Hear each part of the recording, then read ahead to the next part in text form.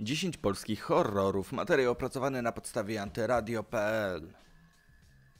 Demon, polsko-izraelski film fabularny z 2015 roku w reżyserii Marcina Wrony na motywach dramatu Piotra Rowickiego Przylgnięcie.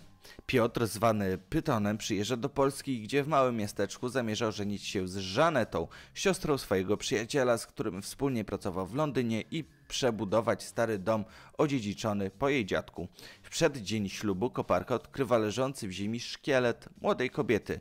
W czasie wesela duch zmarłej Hany pojawia się wśród gości i wchodzi w ciało pana młodego.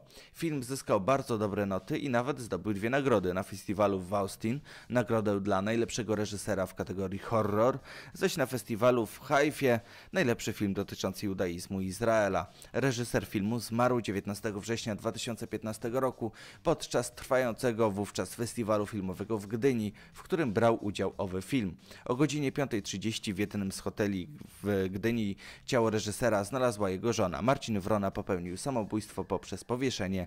Jest to jedna z najbardziej tajemniczych śmierci w polskim świecie filmowym. Silent Lake, film z 2013 roku, który już zdobył gorsze opinie. Jest to polska odpowiedź na Blair Witch Project, a scenariusz napisał Mariusz Kuczewski, ten, który stworzył scenariusz do listy do M2. Obraz zrealizowano w konwencji Found Footage, która obecnie zdominowała kinogrozę. Być może da się wytknąć twórcy kilka warsztatowych błędów, jest jednak spora grupa osób, która uważa, że to udana próba przeniesienia zachodnich standardów dotyczących tego kina na rodzime podwórko. Pora mroku. Polski filmowy horror z 2008 roku wyreżyserowany przez Grzegorza Kuczeriszkę.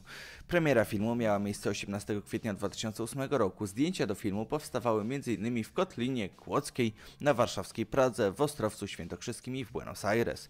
Film reklamowany hucznie jako pierwszy polski horror od wielu lat spotkał się z negatywnym przyjęciem krytyki. Przypisano mu także przynależność do modnego poza granicami Polski horrorowego nurtu tortur porn i porównano do takich filmów jak Hostel. O co chodzi w filmie? Czwórka przyjaciół ze studiów, dwie dziewczyny i dwóch chłopaków podczas wakacji rusza na prowincję Dolnego Śląska, gdzie rok wcześniej zginął Adam, brat jednej z uczestniczek wyprawy.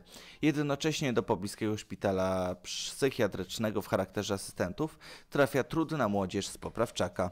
W wyniku niefortunnych zdarzeń ludzie trafiają do nawiedzonego miejsca. Klątwa Doliny Węży, film produkcji polsko-radzieckiej z 1987 roku, nakręcony na podstawie opowiadania Roberta Stratona pod tytułem Hobby doktora Travena. Reżyserem filmu jest Marek Piestrak. Klątwa Doliny Węży miała premierę 3 października 1988 roku. Film obejrzało w kinach 25 milionów osób.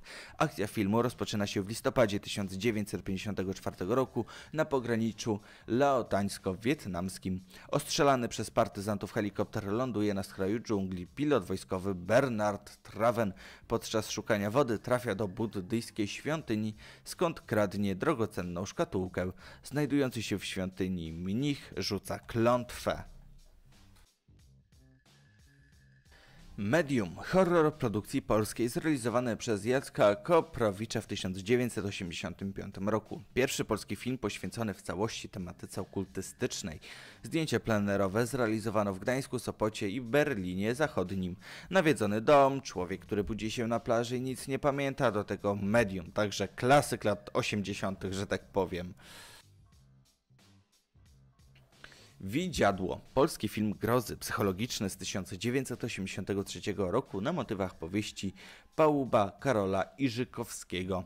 Początek XX wieku Piotr Strumieński mieszka z żoną Olą i dziećmi w małym dworku, jednak nadal jest prześladowany przez myśli o swojej pierwszej żonie Angelice, która zginęła tragicznie. Często ją widzi w snach, a podczas jednego ze snów mówi nigdy nie zaznasz szczęścia z inną kobietą, zawsze będziesz słyszał mój śpiew. Jego żona coraz bardziej od niego się oddala. Dochodzi do dziwnych wydarzeń w domu strumieńskich i mamy takim sposobem horror. Wilczyca, polski film fabularny, dokładniej dramat psychologiczny z elementami horroru z 1982 roku w reżyserii Marka Piestraka, o którym już wspominałem, z Krzysztofem Jasińskim i Iwoną Bielską w rolach głównych. Adaptacja noweli Jerzego Giertowskiego pod tytułem Wadera z 1977 roku. Film zaliczany jest do klasyki polskiego horroru i przyciągnął do kin około 2 miliony widzów w roku premiery. Diabo. Polski horror w reżyserii Andrzeja Żuławskiego, wyprodukowany w 1972 roku. Zatrzymany został na kilkanaście lat przez PRL-owską cenzurę. Jego premiera odbyła się dopiero w 1988 roku. Akcja rozgrywa się w styczniu 1793 roku podczas wkroczenia wojsk pruskich do Wielkopolski. Nieznajomy wyprowadza z, więziennego klasztoru młodego szlachcica Jakuba wraz z zakonnicą. Niedoszły królobójca, wyraźnie oszołomiony torturami Jakub, wraca w towarzystwie zakonnicy w rodzinne strony, ale spotkanie z rodzicami, rodzeństwem i przyjacielem oraz narzeczoną tylko potęguje w nim opętanie. Nieznajomy wręcza Jakubowi brzytwę i każe oczyszczać. Jakub postanawia rozliczyć się z najbliższymi, którzy pogrążyli się w zdradzie i moralnej rozpuście. Zatraca przy tym poczucie realności. Lokis, rękopis profesora Wittenbacha, polski film kostiumowy z elementami horroru, zrealizowany w 1970 roku. Scenarzystą i reżyserem filmu jest Janusz Majewski.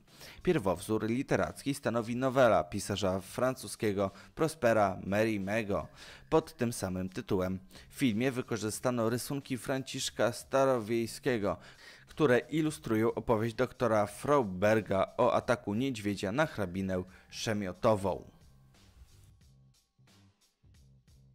Opowieści niezwykłe, cykl polskich czarno-białych filmów telewizyjnych zrealizowanych w latach 1967-1968 przez zespół filmowy Studio. Cechą wspólną obrazów jest atmosfera tytułowej niezwykłości, tajemniczości, uzyskana poprzez ukazywanie duchów osób nieżyjących czasem od wieków, jak na przykład Ja w górę, czy personifikacji śmierci, jak na przykład w odcinku Mistrz Tańca. Niektóre z filmów pod względem gatunkowym ocierają się o kino grozy, jak na przykład odcinki Ślepy Tor czy Mistrz Tańca, inne przypominają bardziej filmy sensacyjne typu Szachmat. Lżejszą, niemal komediową tonacją ma obraz Ja Gorę.